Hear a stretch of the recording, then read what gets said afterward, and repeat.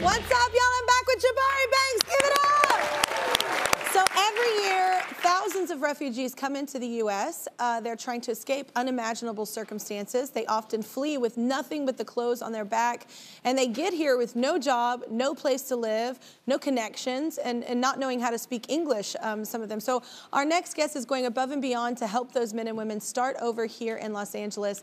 That makes her a good neighbor.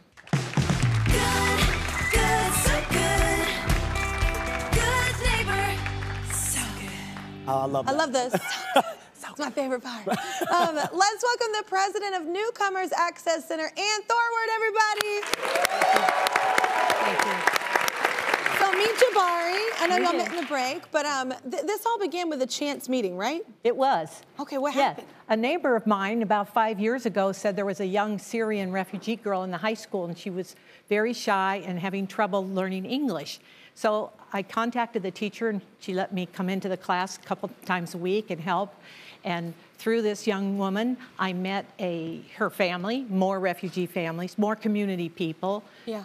People at the local mosque, politicians, of course, mm-hmm. and it just grew. And a bunch of community people, we got together and said, these people need a lot of help.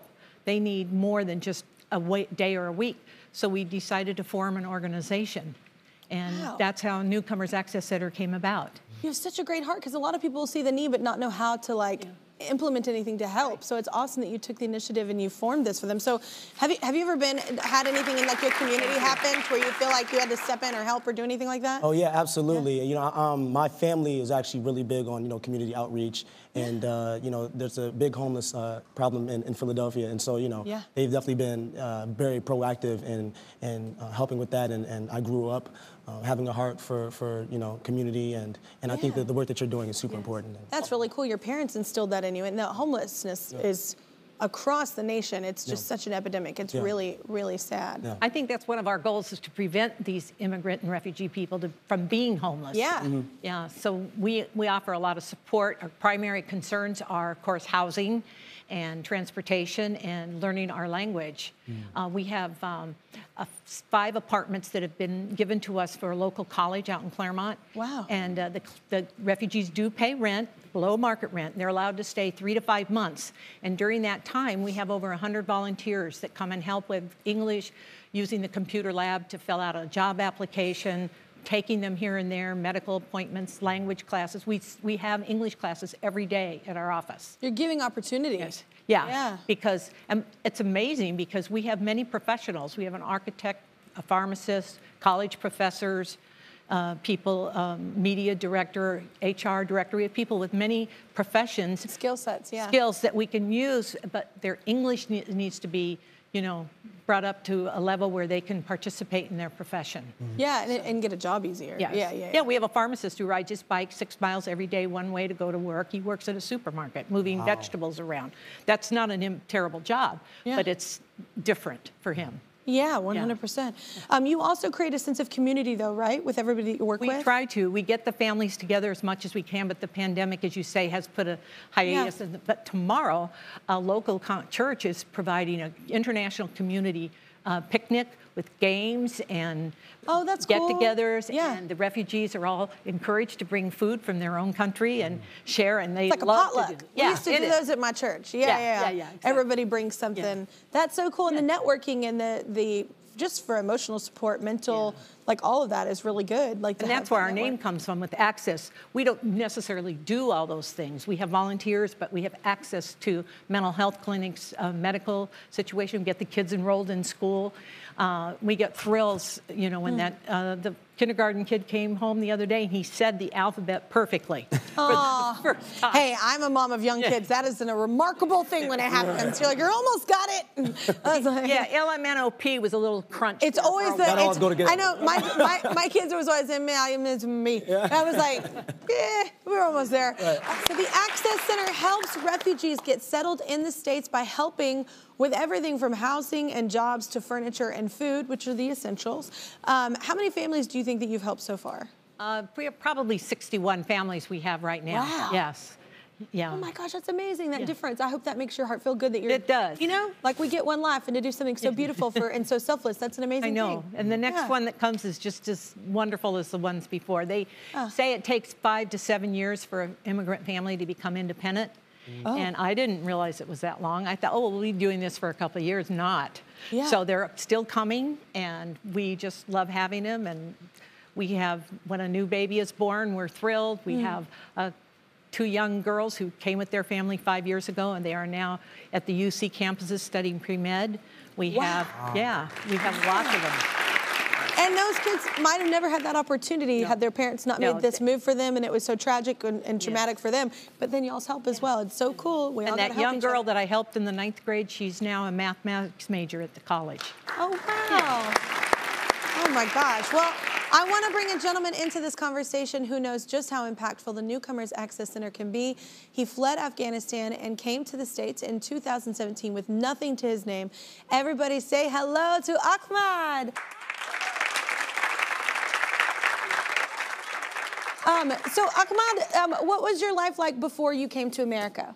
Uh, I had a good life with my family, my mom, my dad, my sister, my brothers in Kabul City, Afghanistan, and I worked at the, the army base, making food, set up everything for the U.S. Army. But uh, the base is closed. They moved some army from Afghanistan to United States, and it wasn't safe for me. And I came to United States alone to set up a new life in here. Yeah, absolutely. Well, how did the Newcomers Access Center help you? Uh, so I come when I come to United States at the airport LAX. Uh, so I was doesn't know anything, but I was doesn't know what I have to do when I go out. And I come out and I see like five signs like "Welcome Ahmad to USA," "Welcome Ahmad to USA," and they give me a ride to my cousin house. And after that, the newcomer centers, uh, Mrs. Anne, uh, she helped me out about my social security, my green card. Uh, she take care of me about uh, apartment, about my deposit, rent, food, furnitures, everything. And on 2019, I enrolled my wife to United States, and she helped a lot about education, college, everything. So right now she's studying at the college. Uh, she was of speak English on that time. Arrived to United States. Right now she can speak English very well, and I'm happy. Oh my gosh. I mean, you helped with, li- he listed everything in life. You just helped with everything. I was like, oh my gosh, you, you basically do what my mom helped me do with everything. Like, I was like, that's, that's amazing. Yeah, his wife was a college chemistry professor in Afghanistan. Oh my gosh. You know, one of the people that needs to get more uh, proficient in English, and she's going to do well. Oh my gosh. The baby. Yeah, oh, yeah, the baby. You got to talk about his baby. So, so wait, you and you and your wife, you welcomed a son in 2020. Um, he had some medical issues at first, right? Yes, uh, he had a surgery on the heart, and he was two months at the hospital. Uh, uh, so Mrs. Anne again, she helped me a lot. She was talking with the doctor every day, and she explained to me, uh, be strong. And uh, she bought for me like crepes, diapers, clothes, everything for my son. And right now, my son is he's doing very great, and we are happy. Oh my Doing gosh, look well. at that Really smile. Oh my gosh, so cute. Um, do you do you have anyone, Jabari, in your life um, who's given you such unconditional support in hard times? Oh, my mom. Your my mom, mother, for yeah, yeah. sure. Um, you know, I was, uh, I got into theater and, and acting kind of late in my life, and Yeah. you know, uh, there wasn't a lot of resources uh, where I was living, and so she would drive me an hour out to the theater every day. You know what I mean? And, and that type of support that that um, that drive me to, to be the best that I could. Oh, that's awesome. And not everybody gets those parents, you know. So that's Right. amazing. Exactly. Yeah, Grateful. that's a, that's a great that's a good thing. Yeah. So, um, Ahmad, do you want to say anything to Anne? Yes, I want to say I appreciate that, Mrs. Anne. God bless you. Thank you so much. Uh, she helped me like mom. I appreciate that so much for your help. You did the best. You're the best. I appreciate that. Newcomer centers, especially Mrs. Anne. You're the best. Thank, you Thank so much. You did the best for me. Aw. Well, what Anne and the Newcomers Access Center is doing for refugees is clearly so important. Um, that's why we reached out to our friends at Food for Less, who are committed to providing fresh, affordable groceries for everyone. Their goal is to create zero hunger and zero waste by 2025. It's an amazing goal, uh, which is why they are proud to donate $10,000 to Newcomers Access Center. Oh, Yeah! oh, I'd love to hug you, Oh, Kelly. no, we can hug later. Thank you. Um, Oh, That's that's incredible. no. I'm just so thrilled. Oh my God, no, I, I hope that, oh here, I look, I cry all the time. I have it on hand. I cry so much. Um, no, I, I just think it's really beautiful what you're doing. And, and Thank you know. Ahmad's family, and, and I'm so glad, Ahmed, that your, your boy is doing so well now. Congratulations. That's a scary thing as a parent to have watch your baby in the hospital and, and not know what to do. So I'm so, I'm so glad he's better now. And this is just such a great story. And I hope that you watching at home, you know, help your friend out, help people out. We all need help sometimes.